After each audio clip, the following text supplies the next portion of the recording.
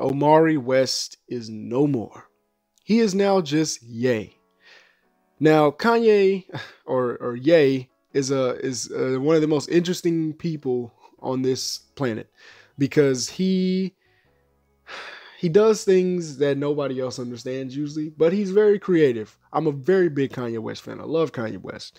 But um this name change, it's going to be a lot to get used to because I just it's hard to just call him Ye and nothing else because I, when I say it and I say it in a sentence like, "Oh, Ye did this and Ye did that," it makes me feel like I'm like missing something. So the reasoning behind this, this name change is I don't know. I mean, the closest thing we can get to a reasoning behind this name change is right here uh, that they reference a 2018 radio interview he did with Big Boy, where he said, I believe Ye is the most commonly used word in the Bible. In the Bible, it means you, so I'm you, and I'm us. It's us. It went from being Kanye, which means the only one, to just Ye.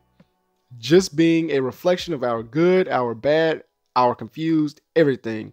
It's more of a reflection of who we are as beings. I don't know what that means.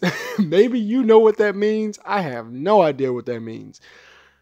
I guess that's his reasoning behind the name Ye, or be, like being called Ye. Besides, besides it being a play off of his name Kanye, but um, yeah, I I I just don't know. I really just don't know. Um this man thinks in a very expansive type way and as you can see right there that's an example of it right there. But uh yeah, wh- what do you guys think about this? He's he's been trying to get this done for a little minute now and uh he's finally granted it by the court and uh, he's now Ye. What do you guys think? Of, what do you guys think about Ye's name change? Let me know in the comment section below. Be sure to like, comment, subscribe, subscribe, like, comment, comment, subscribe, like whenever you do it, however you want to do it, wherever you do it, just do it. It is your boy Red X Black, and I'm out. Peace.